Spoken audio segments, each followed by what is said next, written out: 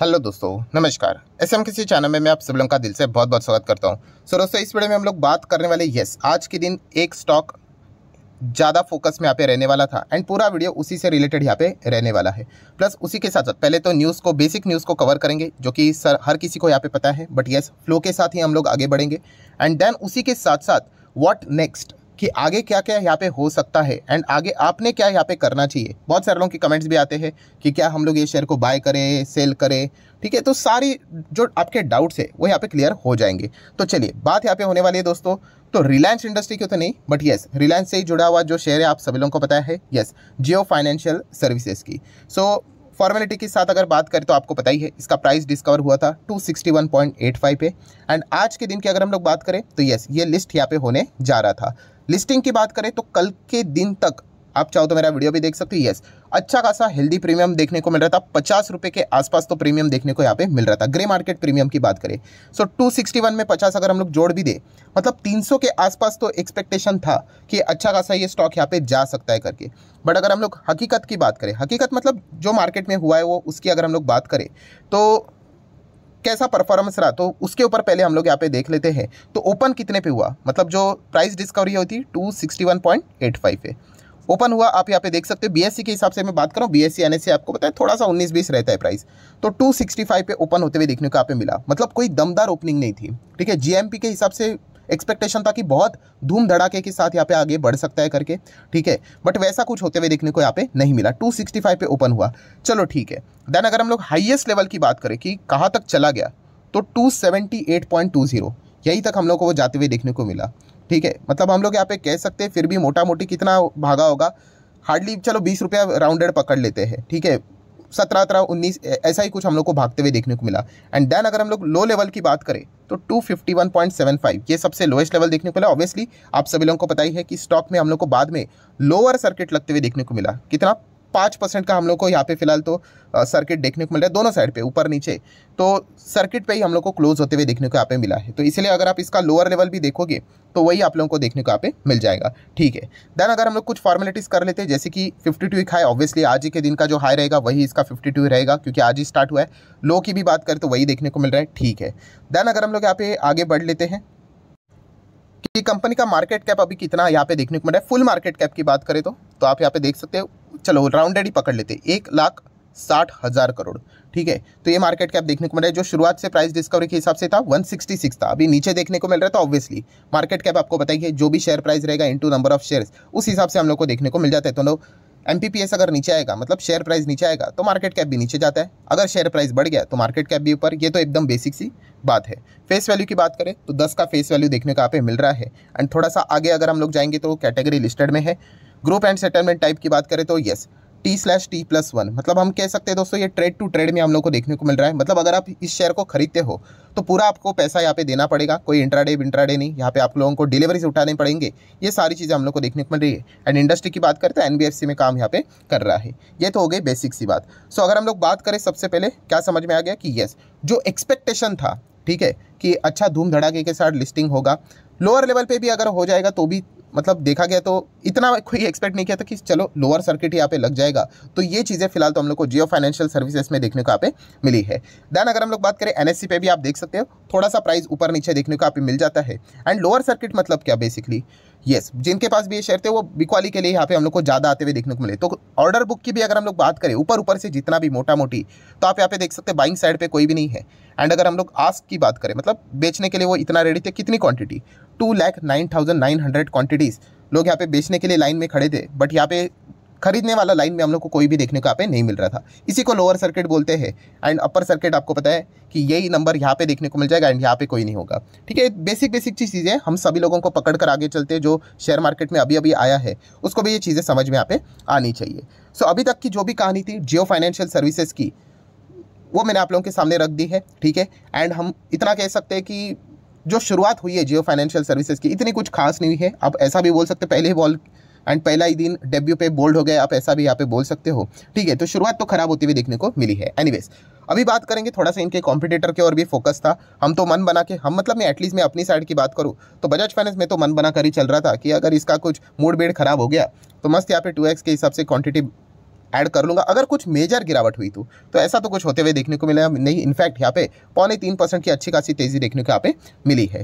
Then अगर हम लोग बात करेंगे, थोड़ा पेटीएम को देखेंगे तो यस पेटीएम के पेट में थोड़ा सा दर्द यहाँ पे होते हुए देखने को मिल तीन परसेंट की गिरावट देखने को मिल रही है। ये भी सभी इन्हीं के बिरादरी के हम लोग को कॉम्पिटिटर मतलब प्लेयर्स देखने को यहाँ पे मिल रहे हैं। ठीक है? एक दूसरे को पछाड़ने के लिए अभी काम करते हुए देखने को यहाँ पे मिलने वाले हैं।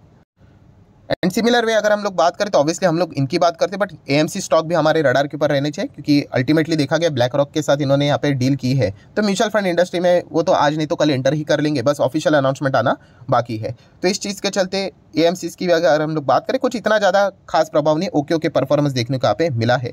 प्लस इंश्योरेंस बिज़नेस में भी एंटर करने वाले हैं। ये भी हम लोग को यहाँ पे पता ही है लाइसेंस के लिए यहाँ पे आगे वो बढ़ चुके हैं। तो ओवरऑल अगर हम लोग यहाँ पे बात करें, हर एक फाइनेंस बिज़नेस से रिलेटेड मतलब अदर देन बैंकिंग उसमें हम लोग को ये कंपनी काम करते हुए देखने को यहाँ पे मिल रही है। देन अगर हम लोग यहाँ पे बात करें, देखिए, अभी तक जो भी चीज़ें थी, ये तो जस्ट पढ़ने वाली बात थी कि आज के दिन क्या हुआ, वही मैंने आप लोगों को यहाँ पे बोल दिया। वॉट नेक्स्ट अभी बहुत सारी इंपॉर्टेंट चीज़ें हैं जो कि अभी हम लोग को यहाँ पे देखनी है। सबसे पहले अगर हम लोग वॉट नेक्स्ट की बात करें तो आप सभी लोगों को पता है कि जियो फाइनेंशियल सर्विसेज़ मतलब रिलायंस इंडेक्स का पार्ट है, वहाँ से वो अलग हो गया तो वो निफ्टी फिफ्टी में भी हम लोग को देखने को मिल रहा है। प्लस उसी के साथ साथ बाकी इंडेक्स में भी है। तो ऑब्वियसली वो निकाला जाएगा। आप सभी लोगों को पता है इंडेक्स से तो म्यूचुअल फंड्स की हम लोग को सेलिंग होते हुए देखने को मिलेगी। One forty five million shares इसके चलते हम लोग को वो बेचते हुए देखने को मिलेंगे। ये कल के दिन में ऑलरेडी आप लोगों को बताया था, लगभग तीन हज़ार आठ सौ करोड़ के आसपास हम लोग को पैसिव म्यूचुअल फंड्स की ओर से शायद से सेलिंग देखने को यहाँ पे मिल सकते हैं। अगर हम लोग इसके डेट की बात करें, ठीक है तो डेट बताया जा रहा है कि माइट भी 24 अगस्त से हम यहाँ पे कह सकते हैं कि शायद से हम लोग को ये सारी चीज़ें एक्सक्लूजन हैपन होते हुए देखने को यहाँ पे मिल सकता है। ऑब्वियसली ये जो कैलकुलेशन है, ये नुआमा में यहाँ पे करके बताया हुआ है। अभी इसमें भी एक ना ट्विस्ट है बट मैं पहले डिस्क्लेमर देना चाहूँगा। ट्विस्ट मतलब क्या है? इसको थोड़ा सा पढ़ लेना, अभी इतना हर एक थियरी इतना याद नहीं रहता है। बट जब भी, अभी तक मतलब जितना मेरा दिमाग के ऊपर ज़ोर जाता है, उतना मैं आपको बोल सकता हूँ। एक बार क्रॉस वेरीफाई कर लेना कि जब जब भी अभी आप देख सकते हैं, चौबीस तारीख यहाँ पे लिखा हुई है ना, अगस्त, ये किस हिसाब से लिखी हुई है? कि तीन दिन के बाद ये सारी चीज़ें क्या कर सकते हैं, जो म्यूचुअल फंड वाले रहते हैं, वो एक्सक्लूजन के बाद, यहाँ पे एग्जिट करने की भी बात यहाँ पे होते हुए देखने को यहाँ पे मिल सकती है। बट जब भी मैंने देखा कि इसके लिए ना ट्रेड होना बहुत इंपॉर्टेंट है मतलब आज के दिन की अगर हम लोग बात करें तो वैसे तो सर्किट में ही चीज़ें होती हुई देखने को यहाँ पे मिली है। तो एक बार देख लें क्योंकि जब जब सर्किट लगता है ना, थोड़ा सा ये चीज़ें एक्सटेंड हो जाती है, ठीक है? तो प्रॉपरली अगर ट्रेडिंग स्टार्ट हो जाएगी ना, फिर उसके बाद के तीन दिन, ऐसा कुछ तो इसके पीछे का मैकेनिज्म है। थोड़ा सा पढ़ लेना, इसलिए मैंने कहा कि चेक कर लेना कि ऐसा ही है करके। बट एक बात तो पक्की है। क्या पक्की है? कि आज नहीं तो कल नहीं तो परसों नहीं तो नरसों। इसको तो यहाँ पे एक्सक्लूजन मतलब इंडेक्स से तो बाहर यहाँ पे निकालना ही पड़ेगा। एंड इंडेक्स से बाहर जाएगा। तो ई e वाले म्यूचुअल फंड वाले, वही पैसे वाले, वो सारे अपना माल यहाँ पे बेचते हुए देखने को मिलेंगे। वो तो फॉर्मेलिटी उनको करनी पड़ती है। इसके चलते वो बिकवाली हम लोग को मतलब ये तो टाइमिंग का खेल है। अगर 24 को नहीं तो 25 25 को नहीं तो 26 नहीं तो नेक्स्ट नहीं तो नेक्स्ट वो तो बट होते हुए देखने को मिलेगा। ये पॉइंट भी हम लोग को पता है यहाँ पे होना चाहिए। तो एक बेसिक सा पॉइंट है, इसको नोट करके चल लेना देन दोस्तों हम लोग कहेंगे वॉट नेक्स्ट तो बहुत ही इंपॉर्टेंट चीज़। तो दोस्तों येस आप सभी लोगों को पता है, अभी रिलायंस की एजीएम रहने वाली, ये सबसे इंपॉर्टेंट पॉइंट रहने वाला है। जितना स्टार लगाना चाहते हो, यहाँ पे लगा सकते हो। एंड एजीएम कम है तो 28 अगस्त को एजीएम है रिलायंस की। एंड एजीएम की बात करें फोर्टी सिक्स है। एंड हम लोग यहाँ पे कह सकते हैं बोला जा रहा है अभी तक की जो इन्फॉर्मेशन है दोपहर को दो बजे हम लोग को देखने को मिलेगा। थ्रू वीडियो कॉन्फ्रेंसिंग भी सारी चीज़ें हम लोग यहाँ पे कवर कर सकते हैं। सो so, बताने का मकसद क्या है कि इस एजीएम में अगर हम लोग बात करें तो जियो फाइनेंशियल सर्विसेज़ से रिलेटेड कुछ ना कुछ अपडेट्स यहाँ पे मतलब शेयर होल्डर एक्सपेक्ट कर सकते हैं। ठीक है? एंड करना भी चाहिए क्योंकि अभी अभी लिस्ट यहाँ पे हुआ है। कुछ ना कुछ तो पॉइंट्स उन्होंने सामने यहाँ पे रखने चाहिए। तो ये एक बहुत ही इंपॉर्टेंट गोल्डन पॉइंट यहाँ पे रहने वाला है जो जियो फाइनेंशियल सर्विसेज़ को एज अ बहुत ही सीरियस तरीके से देखते हैं। कि इसमें इन्वेस्ट करके लॉन्ग टर्म क्या रहना चाहिए? तो उनके लिए ये वाला जो डेट है 28 अगस्त, ये बहुत इंपॉर्टेंट रहेगा। ठीक है, वो पहले वाला जो था म्यूचुअल फंड वाला, वो तो हमारे कंट्रोल में नहीं है, वो आगे पीछे होता रहेगा। बट 28 तारीख ये आप लोगों के लिए बहुत ज़्यादा इंपॉर्टेंट दिन रहेगा तो इसको ज़रूर नोट करके रख लेना। देन दोस्तों, अगर हम लोग बात करें, आ जाते एकदम आखिरी पॉइंट के ऊपर। बहुत ही इंपॉर्टेंट पॉइंट है, वो है क्या हम लोग शेयर खरीदे? ये सबसे ज़्यादा सवाल यहाँ पे पूछा जाता है। थोड़ा सा बुरा मत मानना दोस्तों बट मैं थोड़ा आपको पता ही है। मैं डायरेक्ट बोलना पसंद कर देता हूँ। कुछ लोगों को बुरा लगता है कमेंट सेक्शन में। तो चाहे तो अपनी प्रतिक्रिया यहाँ पे व्यक्त कर सकते कोई दिक्कत की बात नहीं। देखिए दोस्तों, ऐसा रैंडम बाइंग नहीं करना होता है। मैंने बहुत बार बोल चुका हूँ आपको कि ऐसा ही न्यूज़ चैनल पर कोई खबर यहाँ पे चल रही है। ठीक है, अभी यही चीज़ हम लोग को आईटीसी के होटल के वक्त लिस्टिंग के वक्त भी देखने को मिलेगी। सर, क्या खरीदे खरीदे? अरे, क्यों खरीदना चाहते हो? उसके पीछे का रीज़न क्या है? लॉजिक क्या है? वो क्लियर होना चाहिए। सर क्या मेरे पास ये स्टॉक है? उसमें मुझे अच्छा प्रॉफिट हो रहा है। मैं ये बेच देता हूँ और जियो फाइनेंशियल सर्विसेज़ खरीदूँ। बोला, अरे, आप क्यों खरीदना चाहते हो? वो तो बताओ पहले, सबसे मेजर रीज़न ये है। देखिए, कोई भी शेयर खरीदता है तो क्यों खरीदता है? ऑब्वियसली प्रॉफिट होने के लिए। बट हर किसी का रीज़न होता है। मैं हमेशा आप लोगों को बोलता हूँ कि कभी मैं आपको मिलूँगा और आपको पूछूँगा कि, बॉस, बताओ आपके पोर्टफोलियो में ए बी सी डी जितने भी शेयर है, आपने क्यों खरीदे? उसके पीछे का रीज़न बताओ। वो प्रॉफिट लॉस बात की बात है। रीज़न प्रॉपर होना चाहिए। रीज़न क्या है? बस ऐसे ही लिस्टिंग कुछ तो हो रहा है, नया स्टंट मार लेते हैं। तो ऐसा नहीं करना है दोस्तों। रीज़न पक्का होना चाहिए आप लोगों का। अभी कुछ लोग बोल सकते हैं कि भविष्य में मुझे लगता है ये कंपनी बहुत अच्छी कर सकती है। अच्छा खासा परफॉर्मेंस यहाँ पे दे सकता है। ठीक है, बहुत ही स्ट्रॉन्ग एनबीएफसी देखने को मिल रही है। जियो ने जिस प्रकार से टेलीकॉम में एंट्री करके तबाही मचाई थी, वैसे ही तबाही मचाई सकती है। देखिए, ये रीज़न एक बहुत वैलिड रीज़न हुआ कि किसी ने तो कुछ तो बोला।